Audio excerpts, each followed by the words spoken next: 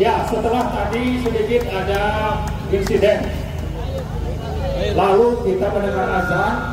Dengan azan itu mudah-mudahan semuanya jadi tenang. Ya, insya Allah.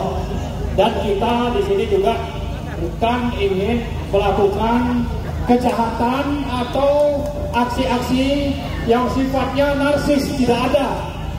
Tapi justru kita ingin menyampaikan beberapa hal penting.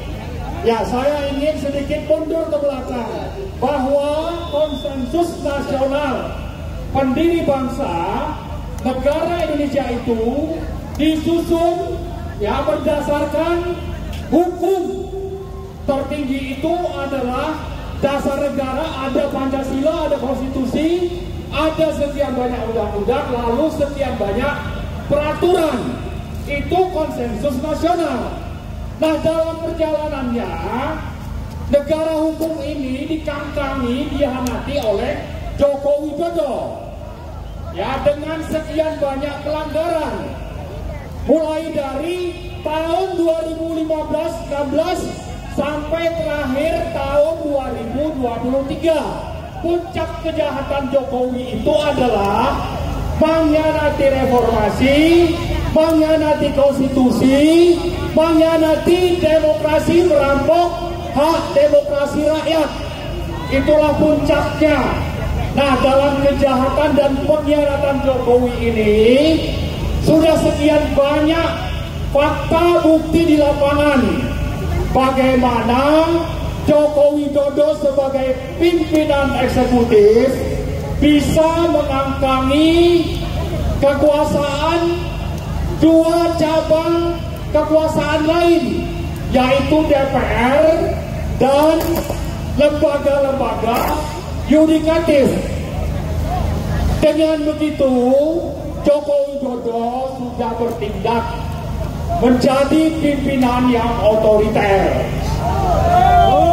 Salah satu puncak kejahatan dan pengkhianatan Joko Widodo adalah menjadi pemeran utama pelaksanaan pilpres curang.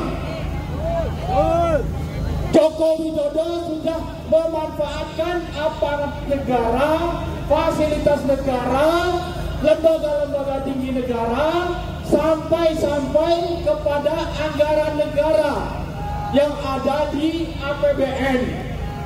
Nah, semua itu sudah menjadi pengetahuan umum bagi kita, bagi rakyat, sehingga rakyat tidak perlu sekolah hukum untuk paham bahwa kejahatan TSM ya terstruktur, sistematis dan masif yang dilakukan oleh Joko Widodo itu sudah sangat nyata. Rakyat yang tidak sekolah hukum saja sudah paham. Karena itu tidak mungkin yang namanya hakim-hakim MK itu tidak paham. Ya, karena itu pula bagi kita di sini, bagi rakyat yang cinta kepada kebenaran, keadilan, dan konsensus nasional yang sebut, saya sebutkan di atas tadi, itu otomatis tidak punya pilihan lain selain mendengar putusan dari Hakim MK pada tanggal 22 April yang, yang akan datang, hari Senin yang akan datang, tidak ada putusan lain kecuali satu membatalkan putusan KPU tanggal 20 Maret 2024. Kedua, mendiskualifikasi pasangan Prabowo Gibran dari Pilpres 2024. Tiga adalah diselenggarakannya Pilpres ulang pada waktu yang akan datang. Inilah tiga tuntutan yang tidak ada alternatif bagi rakyat karena fakta-fakta hukum kejahatan sistemik oleh rezim pro-oligarki nepotis Joko Widodo itu sudah sangat-sangat nyata. Jadi tanggal 22 April yang akan datang bagi rakyat sebetulnya kita akan berkumpul lagi di sini untuk mendengarkan tiga tuntutan tadi. Dan itu adalah tuntutan dari paslon 1 dan paslon 3 tidak ada alternatif. Nah terakhir sekali bahwa kita harus mempersiapkan diri untuk apa?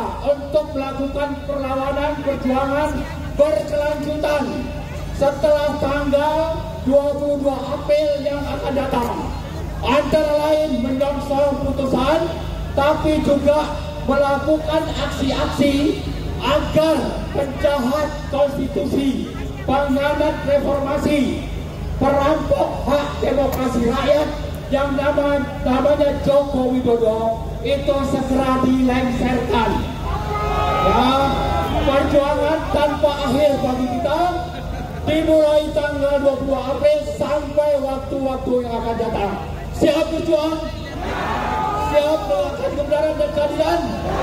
Baik, terima kasih. Itu janji Anda semua.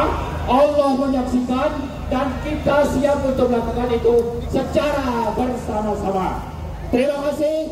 Assalamualaikum warahmatullahi wabarakatuh.